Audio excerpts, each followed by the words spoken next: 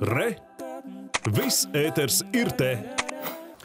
Gan bezmaksas, gan maksas virzemes televīzijas apraides skatītājiem visā Latvijā rīt būs jāveic TV programmu pārskaņošana. Un par šo tēmatu plašāk mēs šorīt vaicāsim Latvijas valsts radio un televīzijas centra valdes priekšsēdētājiem Girtam Ozolam.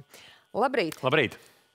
Labrīt! Jā, sarunas sākumā mēs lūgsim skaidrot, kam šī pārskaņošana, TV programmu pārskaņošana ir jāveic un kādēļ programmu pārskaņošana vispār ir nepieciešama un kas būs varbūt tas galvenais iegūms. Jā, programmu pārskaņošana gan bezmaksas, gan maksas um, zemes televīzijas um, um, skatītājiem ir uh, jāveic divu iemeslu pēc.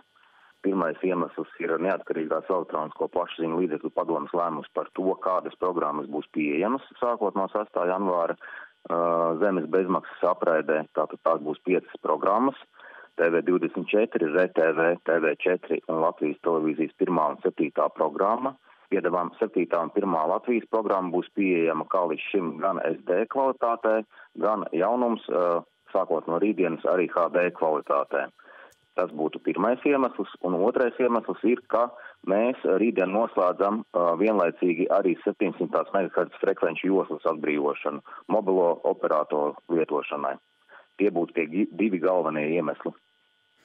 Jā, nu varbūt tā, tā pavisam īsi mūsu skatītājiem, kas šobrīd domā, kas viņiem īsti ir jādara, lai tos uh, savus TV pārskaņotu, kā rīkoties. Jā, pārskaņošanu varēs veikt sākot no rītdienas rīta pulkstens uh, sešiem. Uh, un uh, darbības būtu jāveic sekojošas, būtu jāveic kanāla pārskaņošana, veicot televīzijas programmu automātisku meklēšanu. Uh, šajā automātiskajā meklēšanā ir trīs soļi satura rādītājā jāizvēlās izvēle programmu meklēšana.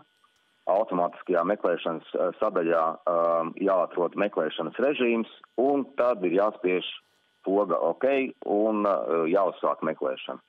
Un tas viss rītā pēc pulksten sešiem no rīta? Sākot no sešiem no rīta, jo uh, nakts laikā uh, tiks veikta uh, gan uh, tīkla uh, pārveide, gan arī uh, raidītāju uh, pārregulēšana.